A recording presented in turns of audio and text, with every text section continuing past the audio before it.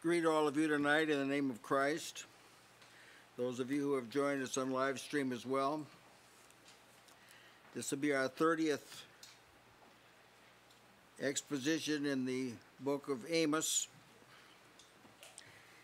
As I have reminded you quite often, this is a, from one side was a difficult book. Not difficult to understand. I mean, it's if you don't understand this book, I mean, you've got some real problems. But you're being exposed to a part of God that is not may not be easy to see, but it must be seen. This is the real God we're being exposed to here. This is really how he responds to waywardness in his people and it's important to see. Does there come a time? Is this so that there comes a time when the Lord is actually against people that He chose and blessed? We're going to find out yes. yes, it is, in spite of the teaching of a lot of people. Some would say that that's impossible for God to choose a people, love a people, care for people, and be against them and become their enemy. Well, they're, they're just wrong. That's all. We're going to show that that's the case. Through Moses, God warned his people about this trait. This is a divine trait now. Here's what he said listen to the nature of these words that found in Leviticus 26, 23 through 25. And if ye will not be reformed by me, that, is that strong? You may say, well, God can reform anybody. If you will not be reformed by me, by these things, but will walk contrary to me, then will I also walk contrary to you and will punish you yet seven times for your sins. And I will bring together within your cities, I will send the pestilence, I will bring the sword upon you that shall avenge the quarrel of my covenant. Boy. And when ye are gathered together within your cities, I will send a pestilence among you, and ye shall be delivered into the hand of the enemy. That, as it will early on, early on now, God told Israel that. Now, we're taught that God doesn't change. So this nature of God, this hasn't changed. I'm going to be right up front with you. There are some of God's people that are walking contrary to Him. I don't know that any of them are here tonight, but if if they are, they need, they need to address this. There are some people walking contrary to God that were His name have a quarrel with his covenant. Hmm? And God's not going to tolerate it. Speaking of the same people as those to whom Amos is speaking, God once said this through Ezekiel. And say to the land of Israel, Thus saith the Lord, Behold, I am against thee and will draw forth my sword out of his sheath, and will cut off from thee the righteous and the wicked. It's Ezekiel 21 3. This is God now. This is God talking. Amen. Jeremiah, he spoke of this kind of judgment. Jeremiah 17 13. O Lord, the hope of Israel, all that forsake thee shall be ashamed. Uh, we all know some people like this that have forsaken the Lord. They will be ashamed. This has not escaped God's attention. And they shall depart, and they that depart from me shall be written in the earth, because they have forsaken the Lord, the fountain of living waters. That is, I'll make it public. I'll make a public, I'll make a public display of them those that forsake me. This is God. Let's take another way here. 2 Samuel 22, 27. With the pure thou wilt show thyself pure, with the froward thou wilt show thyself unsavory. So you want to tell the froward that God loves them, do you? Do you? God shows himself unsavory to the froward. Here's it stated another way. Thou wilt show thyself to the pure, thou wilt show thyself pure. To the froward, thou wilt show thyself froward. well, these are certainly not pleasant things to consider from one point of view, but these are written for our learning. This is an aspect of God you got to know. God, He will not allow you to retaliate. You cannot retaliate. Yeah. But God must retaliate. Yeah. Hmm? That's his nature. He tells you, hands off, I'll handle this, but I will avenge. Yes, Vengeance is mine, saith the Lord. As we pray about these things we're talking about tonight, we know God's nature. People of God to understand that even now, when the covenant of blessing is in force, it is possible to provoke God. Perhaps even while uh, imagining that we are stronger than He. You know, Paul said to the Corinthians, "Do you provoke? Do we provoke God? Are you stronger than He?" See, you've got to see this, brethren. That when someone speaks against or persecutes the people of God, they're provoking God. Amen. He that touches you touches the apple of my eye. Yeah. God's serious about this. Ye have not done it unto them, you've done it unto me. Jesus said, To the least of these my brethren. If you just neglect the least of these my brethren, you've done it to me, and I'll send you to hell for doing it. That's what he said in Matthew 25. Depart from me into everlasting fire. That's what he said. So we're talking about uh, serious things here. Now we're in Amos 5, 16 through 18. Yes. Consider that I will I will avenge. You didn't make a point of that. When, when Nahum prophesied, he said he reserveth wrath for his enemies. That's right. He builds up and like I thought about what Jesus said, where he said, if you fend one of these little ones, it'd be better that millstone yeah. be tied around your neck, captured and dips the sea. It's like that needs to be known. Like whatever you do, God's going to do something about that. Yeah, this yeah. is this is it's always serious to come against God, whether you come against Him personally, you come against His people. Whether you charge him falsely, you charge his people falsely, you denigrate his son, say this is not overlooked by God that don't you practice overlooking it. it. This should cause great care to you, but you cast it on the Lord. You can't resolve the matter yourself, but God will. We'll just say, we pray that He'll do it rather quickly.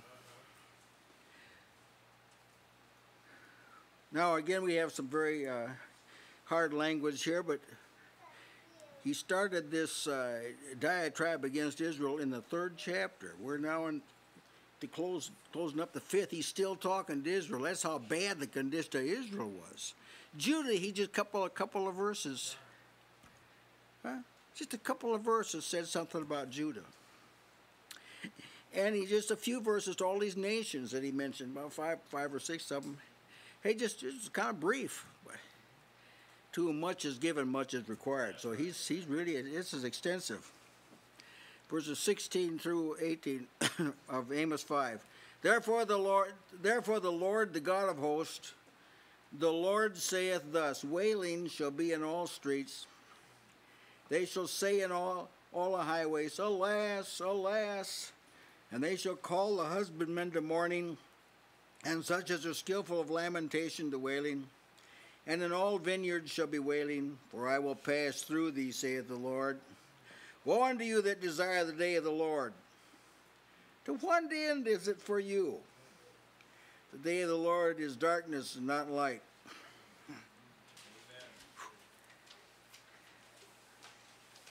I don't know what Moses meant when he said, I exceedingly fear and quake. You get on this mountain and you begin to hear God talk like this, and it'll put the fear of God in you. It'll do it. Now, let me just precede these words with an affirmation that God is here depicted as what God is depicted as doing is not his preference. This is not, God's not seeking for opportunities to do this. He doesn't purpose to do this. This is not high on his agenda. But his nature dictates that he do this. See, salvation is a matter of God's will and of his deliberate purpose. That's right, amen. Yeah, he has, there's a sense in which he's purposed to destroy the wicked, but he hasn't uh, uh, developed an extensive plan to do this. See, but he to save people, that's something else. He has developed an extensive means of salvation. So I do want to make that clear that this is not God's preference to do the things that he said here. He doesn't take a special delight in doing them. We're being exposed to the nature of God who cannot abide obstinance and iniquity. This is this is what God is. But see, this people are slow to accept this. And particularly in our day, God has been so misrepresented, some people are actually offended by language like this. And they might say, well, that was in the Old Testament, or something like that.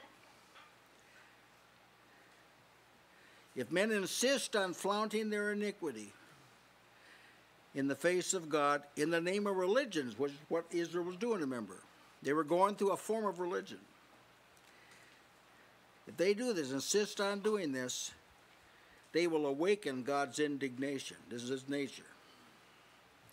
This happened early in the history of the church when Ananias and Sapphira misrepresented who they were.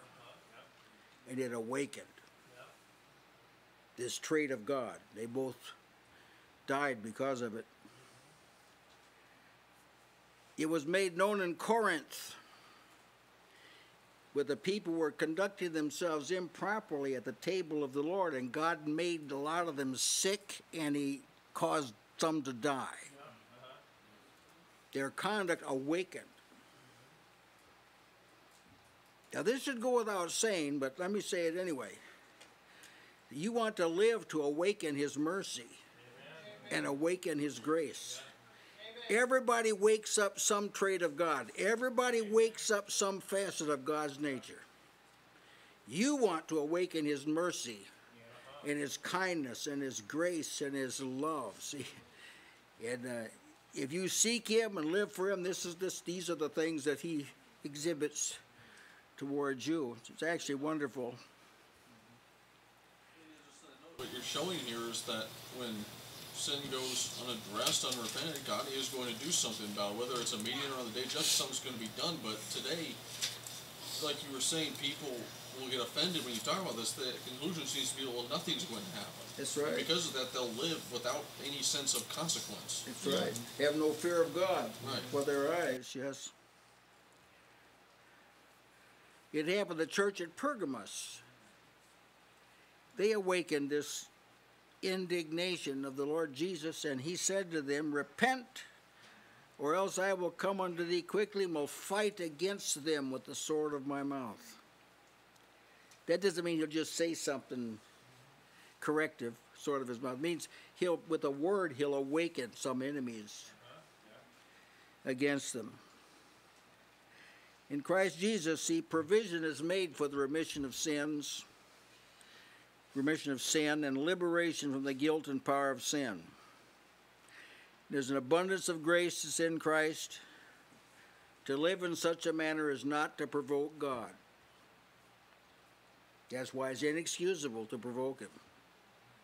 All the means are there not to provoke God. The sacrifice and intercession of Christ is not a means of merely of subduing God's wrath. It's a means of opening the, the depository of salvation. I do not believe this is clear. To most professing Christians. I don't, I don't think this is, a, is, this is too blurry. People don't see it clearly.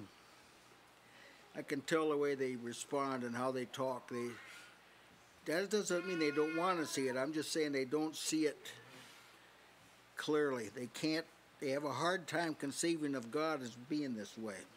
But this is the way He is. I'm saying that God is being provoked by the professing church just like He was provoked by Israel. Because they don't know him. They knew him, they wouldn't provoke him. That's right. And the fact that they didn't know Him provoked Him. Yeah. See, you, you may think that not knowing God is like an innocent. No, it's not an innocent thing. Man was made to know God. He's put in God's world that has His marks all over it. He was given a conscience about God. His official vocation is to seek the Lord and find Him. So it's not innocent not to know the Lord. If you're, if you're in Timbuktu or if you're in Joplin, it's not innocent. You say, well, they're just young. It's still not innocent. Amen. The fact that we got a generation of young people that are bordering on stupid, this doesn't excuse them. This doesn't excuse them. Jesus was 12 when he went to the temple. Samuel was a boy when he went. See, so young age doesn't stop you from in a quest for God. I've met people who, oh. when it comes to education and just being understanding things, they're very sharp on certain things, but you talk to them about God and they don't. That's right. But then on the other hand, I've met people who are very well educated, but they're sensitive to the Lord and very sharp when it comes to the things of the Lord. So it, it is the people's desires what they want. That's right. But you never treat the ignorance of God as though it's innocent. Well, If ignorance is a benefit, then there's no point to the spread of the gospel. That's That would be the, that would be the gospel message. Just shut your mouth and don't say anything, because as long as they don't know, they're saved. That's right. Everybody can see this, can't you? The ignorance of God is inexcusable. It's existed. It's everywhere. Everywhere there's man, the ignorance of God exists, but it's still inexcusable. Just because everybody's ignorant doesn't mean it's all right. Revenge on those who know not Know God. not know not God. God. That's ignorance. Now our text begins, Therefore the Lord, the God of hosts. Therefore the Lord, the God of hosts, or the God of armies, is what the, idea. See, he has armies at his disposal. And I want to just say a brief word about this. It isn't that God, so to speak, can't do anything unless he's got some help. I mean, it's. God is so holy, he cannot deal directly with humanity. If he did, they destroy him. See, as the fire goes before him, destroys. So he, had, but he has armies that can deal effectively with his enemies. Actually, this is a, this is actually in a sense a blessing. Yeah. The fact that God hides himself and doesn't just come on the scene in all of his glory. He said he's, he's a God of hosts that carry out his will, that makes recovery possible. Mm-hmm. You can see that, can't you? I gather these are angelic in nature, these armies, any one of which could handle multitudes of people. Uh-huh. They're employed to keep the wrath of God from just utterly decimating and destroying all the people. So it, God's wrath is sort of, it's not dumbed down is the wrong word, but God's wrath is mitigated a little bit by this army carrying it out, who are not this these angels, they aren't noted for compassion now. But there there are a considerable distance between God and them in nature. and so they uh he sends them a fire goes out before the Lord, destroying and burning up his enemies round about. Psalm 97 3. So he can't personally. And when he came as a, when he sent a savior, he, the, Jesus came in the likeness of sinful flesh. He was like toned down, toned down. Even at that, the demons knew who he was. They, they were, they were free. They were afraid of him. They, they recognized. Man didn't see. That, that's why he was able to walk among them.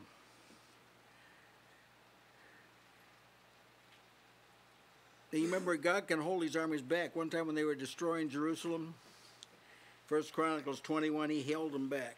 Uh, that's enough. That, that's enough. See, but if God were personally among us in, in all of his glory, he, he couldn't restrain his he couldn't restrain his wrath.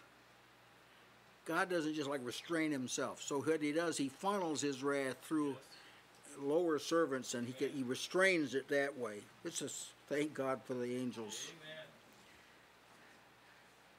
Now he says wailing will be in all streets, wailing. Some of the versions say weeping or crying or lamentation or cry out in anguish. See, this word wailing, the English language breakdown breaks down here. There isn't an adequate word for wailing. It's a very strong word. If you're lexically, it means to tear the hair and beat the breasts. That's what Orientals do. They tear their clothes, beat their breasts, throw dust on their heads. The ideas of hopeless weeping. There's nothing you can do about it.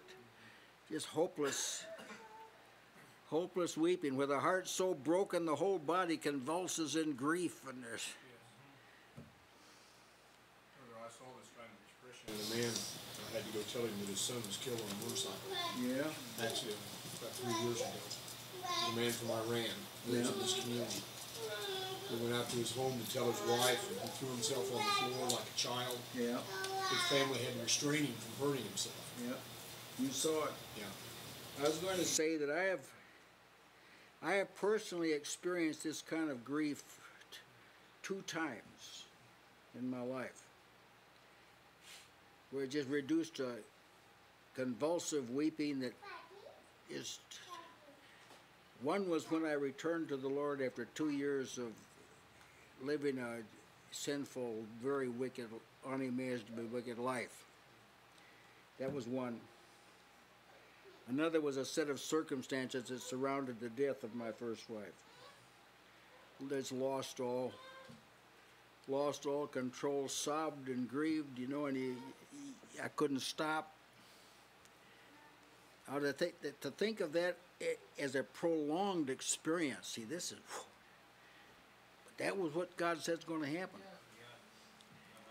It, it's the weeping that there's nothing I can do about it, but the pain's still there, the grief's still there, the hurt's still there, and there's not a thing I can do about it, and it just compounds the problem. Wailing will be in all the streets. Everywhere you go, you'll never see someone that's not wailing. That's what he's saying. All be wailing. The heavens will be like brass, as Moses said, the earth like iron, and the inhabitants are smashed in between. Not a thing they can do about it. Wailing, wailing, wailing. They shall say, Alas, alas. It's another, it's a word, it's a hard, it's a hard word to put into English. Some versions say sorrow, sorrow. One version says, "Oh no! Oh no!" See, it's just a cry of helplessness. It's, it's hard to put into the English language. Whoa, whoa! The Message Bible kind of catches a sense. He says, "Not me, not us, not now." Cry of hopelessness, hopelessness, all around. The pulpit commentary calls it the death wail. Summer's gone, the harvest is past, and we're not saved. Nothing we can do about it. We see now, we see now, we see now. We did the wrong thing, we see it now, but there's nothing they can do about it. Nothing at all. For three sins, yea, three transgressions, yea, four. See, they went over. Well, the prophets kept telling them. Prophets kept telling them. God sent them earth prophets early, early enough to they could recover themselves, but they didn't pay attention. Didn't pay attention. Now the hammer falls. This is the part that I think many people will deny God. They'll, so some will admit that God will lead you through sorrow, but it's always in order that you'll repent. But they don't believe that this kind of sorrow never ends. That's right. It's not under repentance, it's under judgment. That's right. Yeah, it's a, it's a, it's a dreadful thing to, uh, to consider. The lament of a fallen kingdom. Kingdom that God chose and ordained. Fallen. No future. It's the kind of thing that will brought, be brought to the highest point by the inhabitants in hell. That's going to be the the highest. The, the harvest is past. I mean, no more reaping. Summer's gone. No more growing. And we're not saved. And that dirge will be sung ages without end.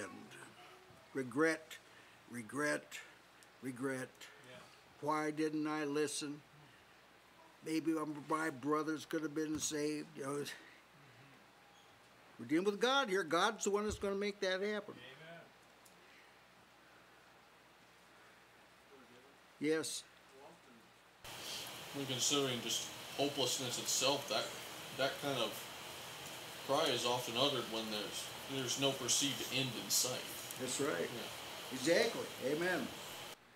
When people hear words like this, Verily I say unto you, I know you not. That's going to induce this wailing. Or, but he shall say, I tell you, I know not, I know you not whence ye are. Depart from me, all ye workers of iniquity. It's what Solomon called suddenly destroyed, and that without remedy. Proverbs 29 1. This wailing is, is akin to that kind of wailing. And mourning, said, and mourning, and such a, they're going to call a husbandman.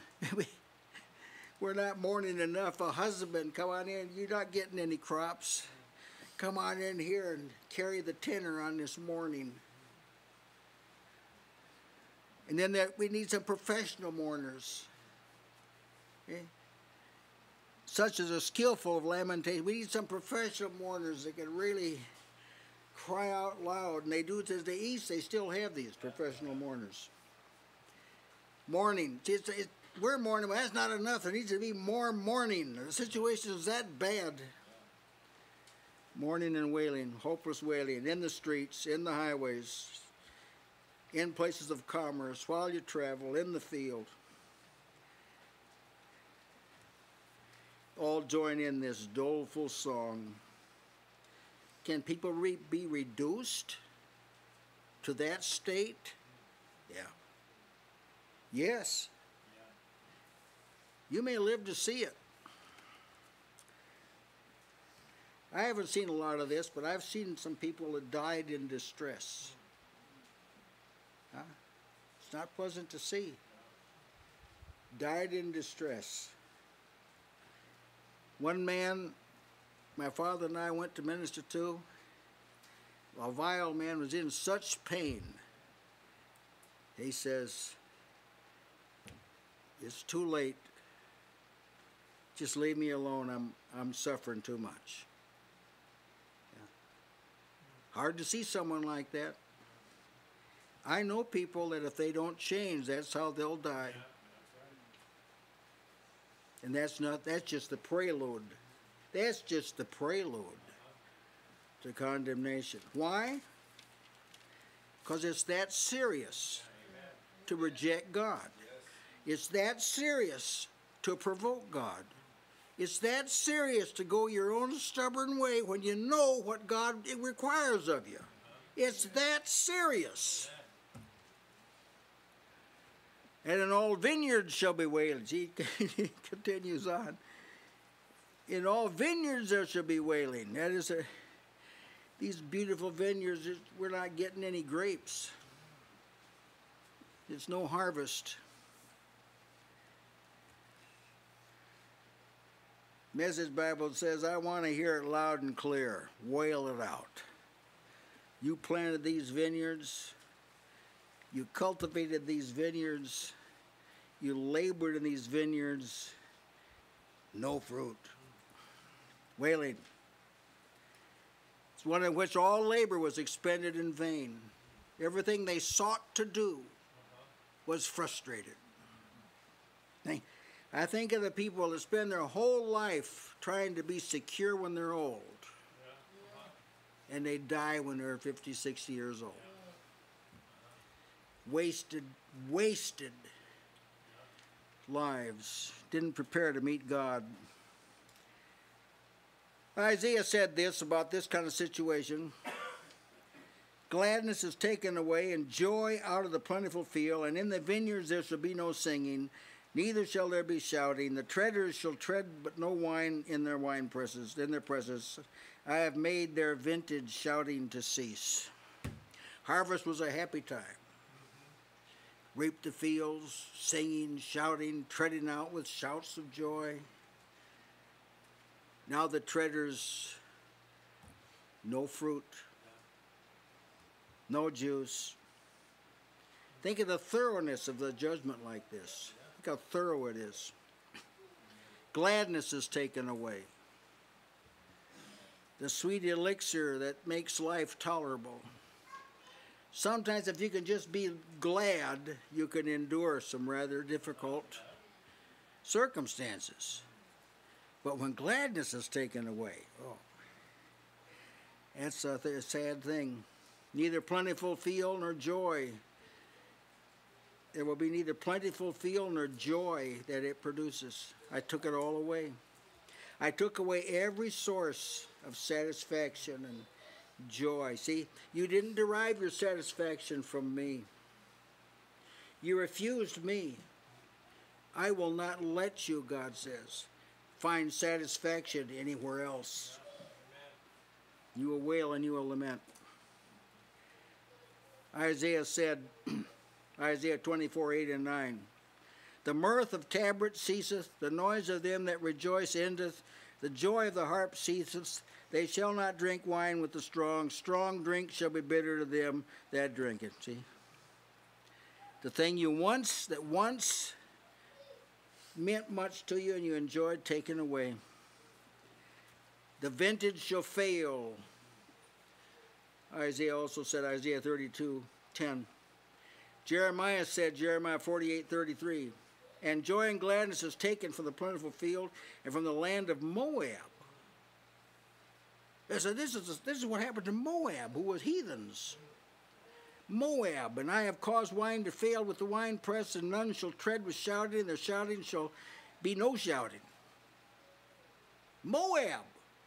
Israel got what Moab got. Oh, that's a that's a tragic state of affairs. Joel, he spoke of this kind of thing too. The vine is dried up, the fig tree languisheth, the pomegranate tree, the palm tree also, the apple tree, even all the trees of the field are withered, because joy is withered away from the sons of men. See, that's one thing that's going to be present in hell no joy, no satisfaction, no companionship, no friends. None of that. Go take it away. I think everyone knows we're we're living in a time and a generation where even theologians and church people can't bear the doctrine of hell oh, I know. or yes. wrath or judgment or eternal punishment. Mm-hmm. And there's a there's a couple of things that that I think people either forget or they will maybe willfully forget. One is that people who end up under the wrath of God are not going to end up under the wrath of God never having been exposed to anything about God.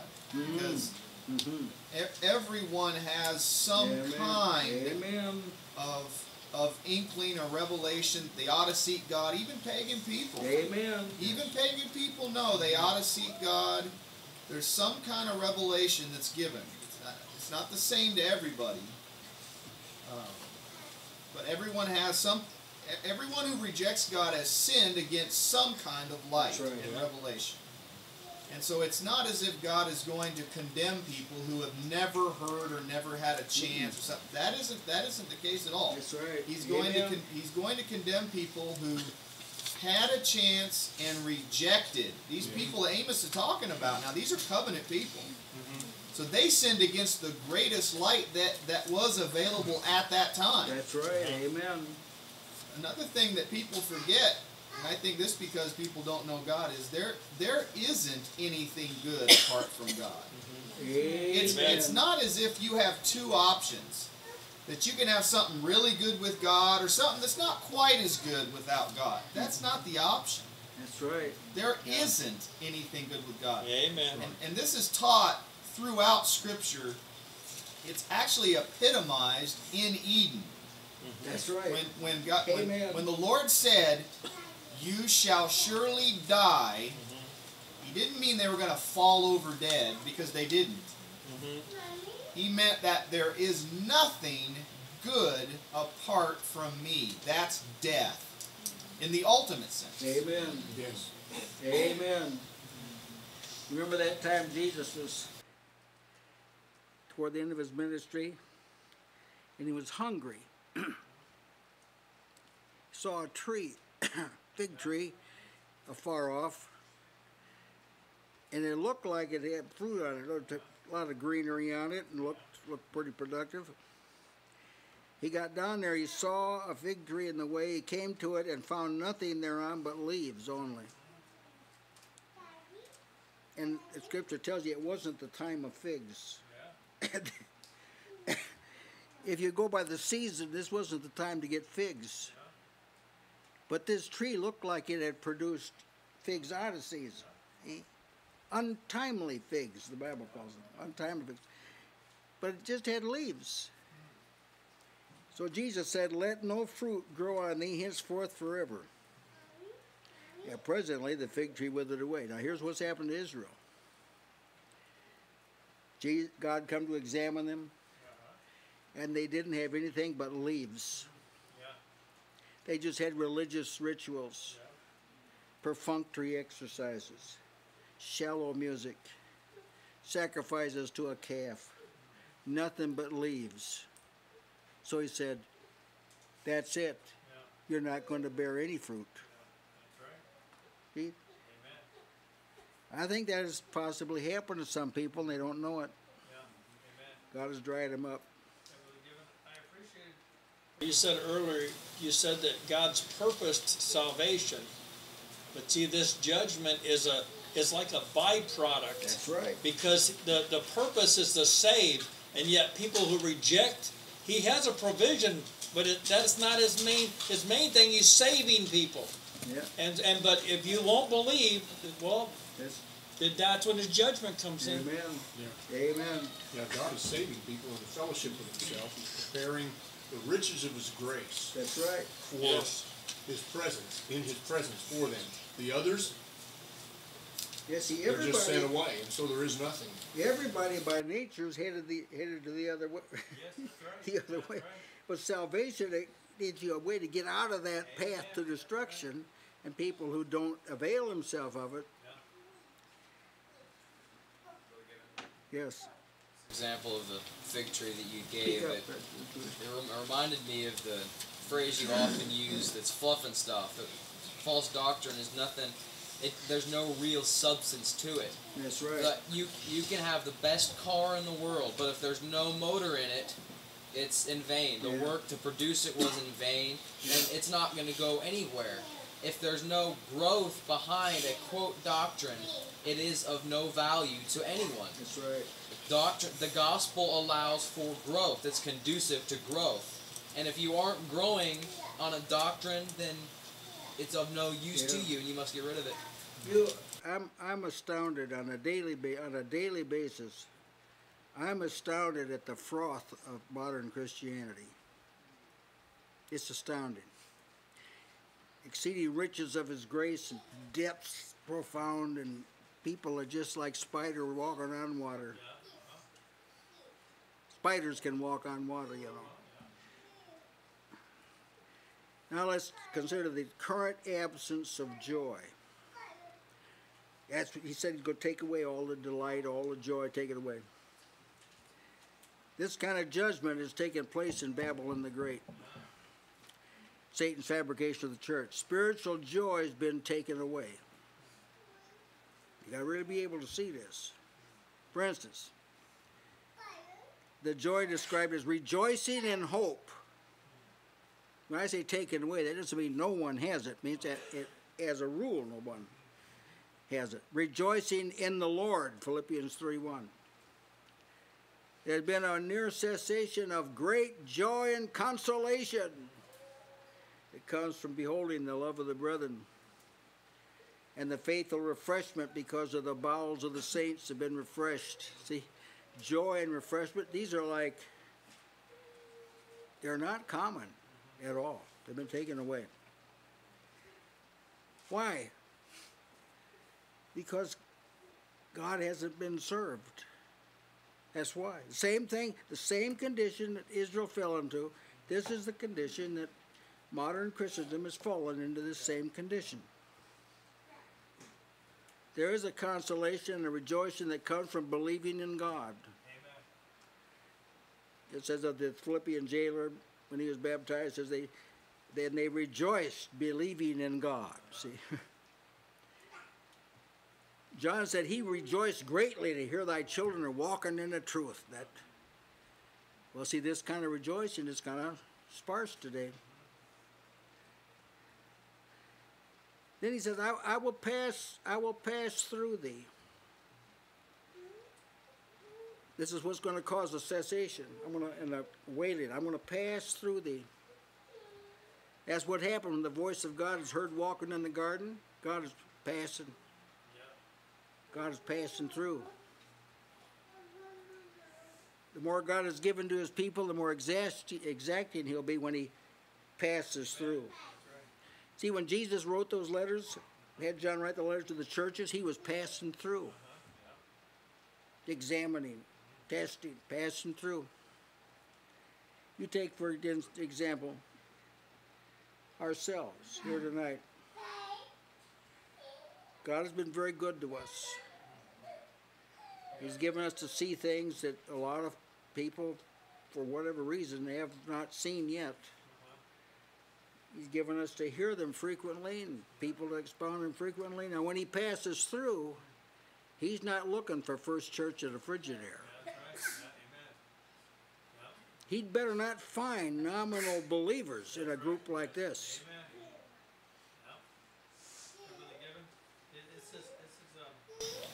God's chosen to save people through specific means.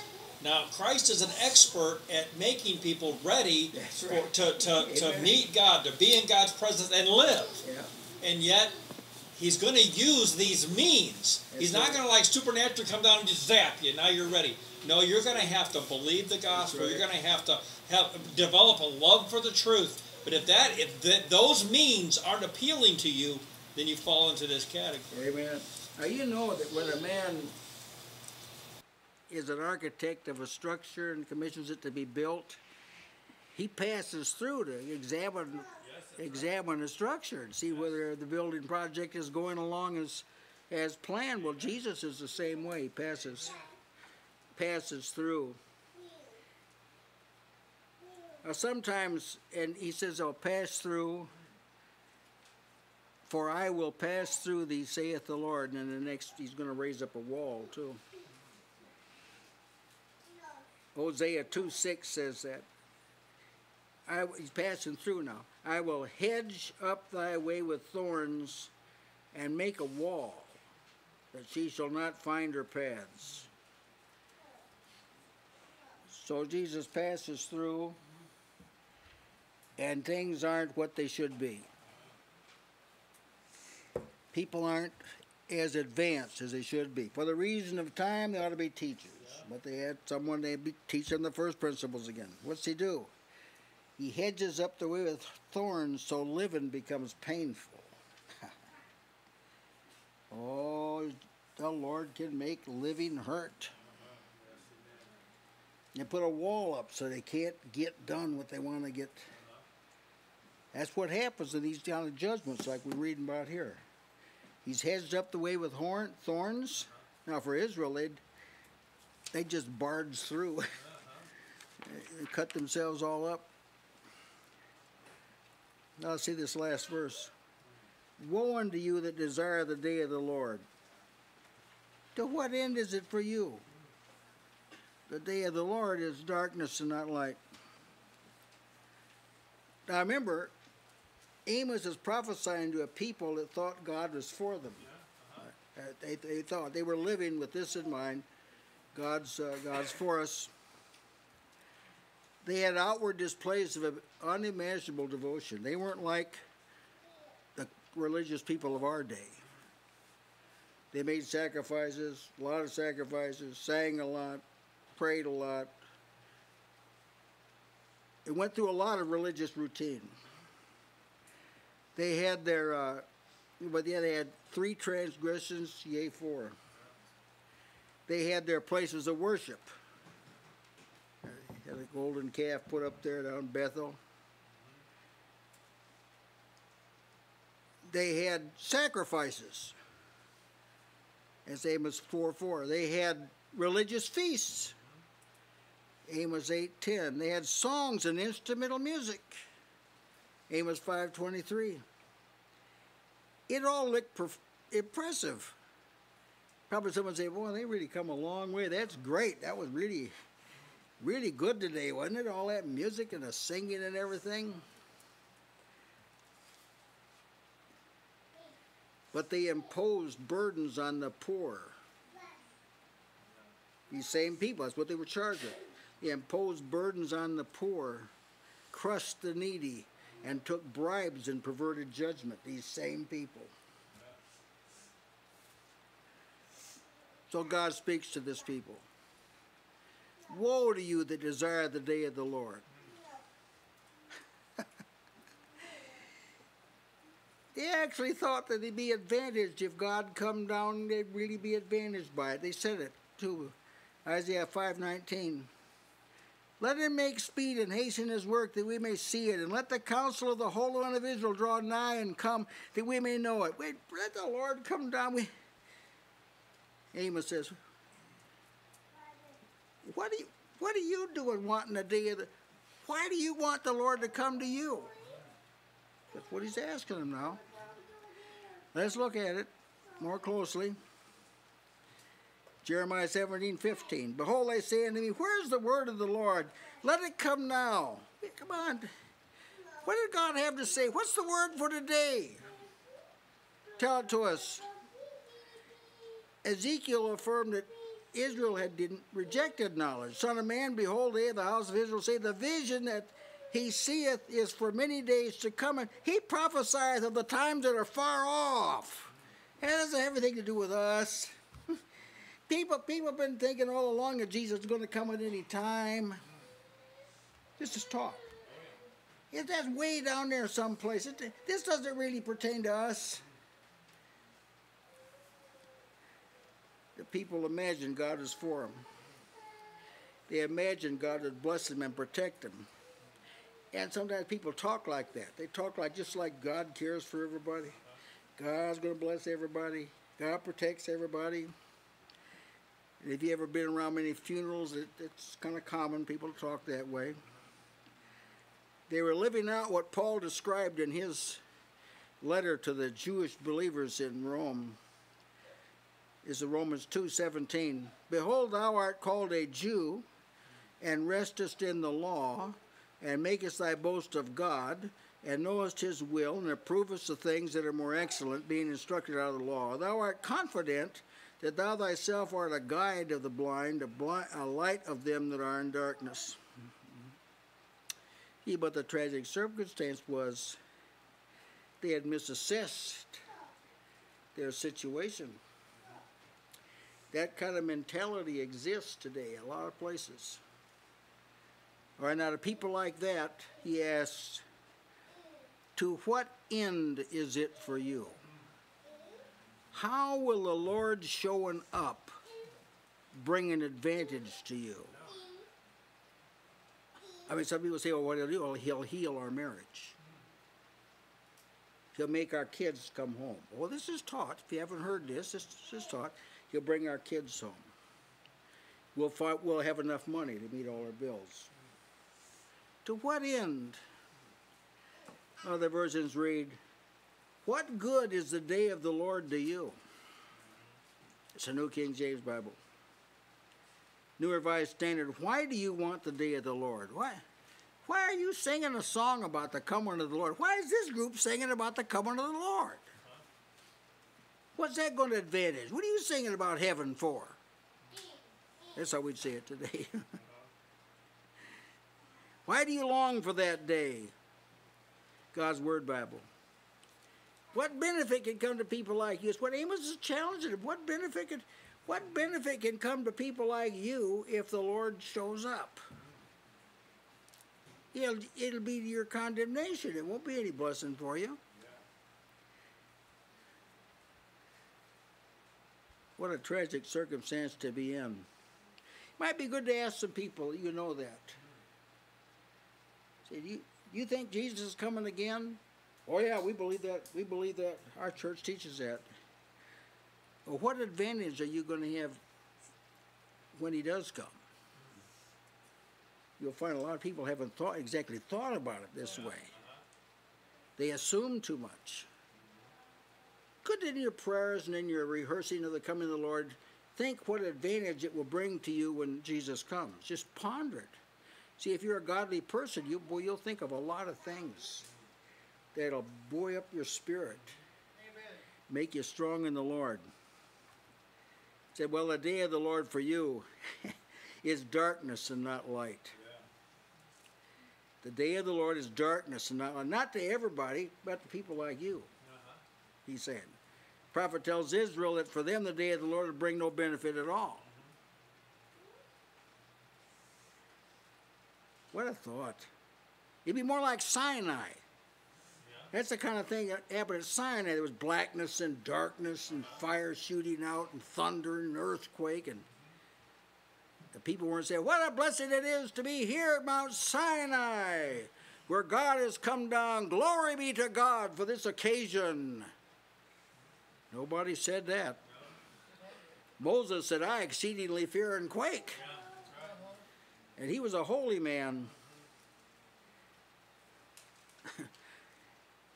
they have only desired the day of the Lord because of their ignorance of God and blindness of heart. They really don't think about the coming of God with any particular benefit. They just think He'll come and solve all of our problems. That's what'll happen. They don't realize that God has become their enemy. Here's a word that Samuel delivered to King Saul. The Lord is departed from thee and is become thine enemy. Now, it wasn't always that way. When Saul was first king, he was he was young and easily directable. Samuel commended him for it. But he says, God's your enemy. You probably know some people, and if you think about it, God's become their enemy. Here's another Lamentations 2 5. Here's Jeremiah lamenting. The Lord was the Lord was as an enemy. He has swallowed up Israel. He has swallowed up all her palaces. He hath destroyed his strongholds, and hath increased in the daughter of Judah mourning and lamentation. Come an enemy. To his people, he became an enemy. Thus Amos tells the people when the Lord comes, it will not be to help, it'll be to judge and to chasten. It will not be a time of marvelous light. It will be a time of unfathomable darkness and ignorance. Malachi said it this way Behold, the day cometh that shall burn as an oven, all the proud, yea, all that do wickedly shall be stubble, and the day that cometh shall burn them up, saith the Lord of hosts, that it shall leave them neither root nor branch. Now, brethren, salvation is to get you out of that category. And is thoroughly able to do it, Yes. to get you out of that category. In speaking to the churches, the Holy Spirit speaks of the fall of Babylon. When what is mentioned in our text is going to take place on a, a larger, larger scale. Then, although the people had pretended they loved and serve the Lord, the entire superstructure of false and pretentious Christianity will come crashing down.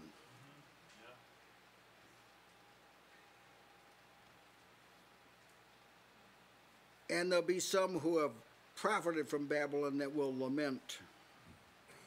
Thus it is written, all who waxed rich through the, through the abundance of Babylon's delicacies will lament. They'll lament the great whore with whom they committed fornication. For in one hour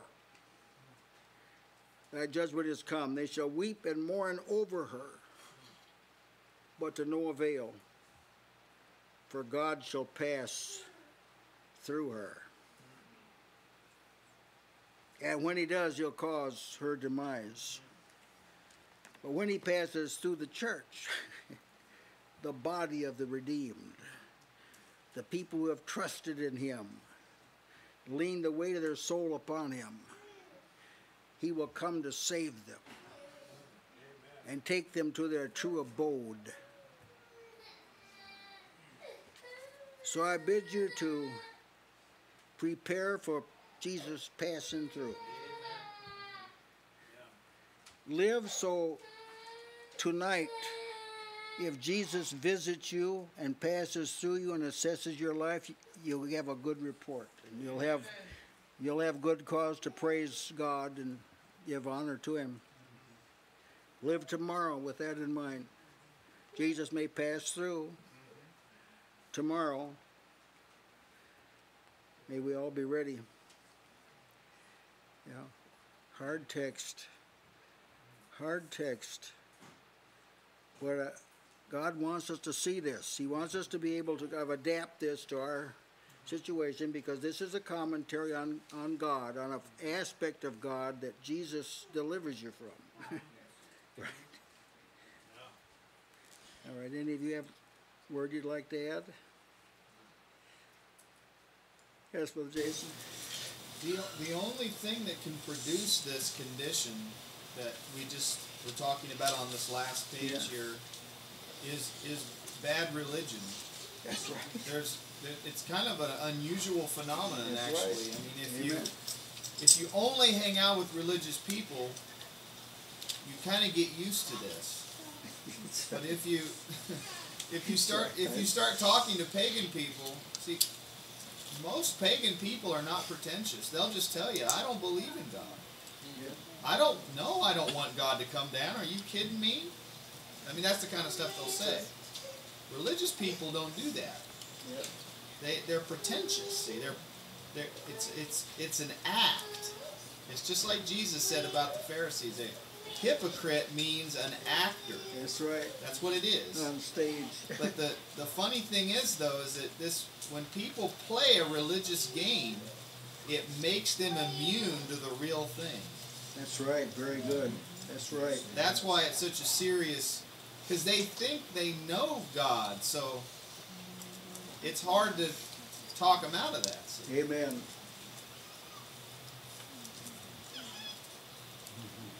Yes, Brother. Yeah, this word on wrath, it, it makes us appreciate what Jesus has done all the more.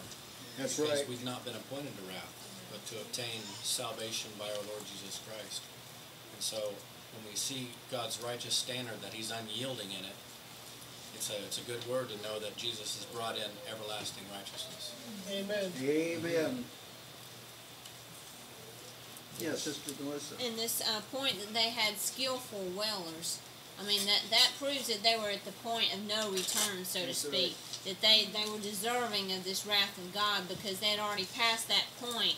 That it, it didn't matter. They were they would never repent anyway. That's right. Amen. As we're going through Amos, it does make me think about the state that some nations are in. because I remember Brother Jason said earlier that God's not like condemning people who've never heard, but people who heard and rejected. That's Yeah. what brought the judgment. I think about these countries, even islands, where people they're like animals. Yeah. They like seem. It just makes you think: Are they that way because they never heard, or is because they rejected the gospel? I'm not going to say make a final judgment, but it is something to think about. Yeah, the first first time I went to India in 1980, I told them why their nation was the way it was. says your nation killed Thomas, the apostle. Now God can forgive you, I understand it, but this is not just coincidence that this nation is the way it is. And there's other nations. There's there's historical records that tell you where the apostles all visited and where men of God visited. They visited all these nations early in the first century. Most of them were killed. Yeah. All right, we'll have a word of prayer. Our Heavenly Father, we thank Thee for this solemn warning that Amos delivered. We thank You for Amos that he was faithful to deliver this word. It was not a pleasant word to deliver, and for a man of tender heart, it would be especially difficult. But we're grateful that it is in Scripture, that it does tell us this how you respond to hypocritical religion. And we ask for a complete deliverance from it. In Jesus' name, amen.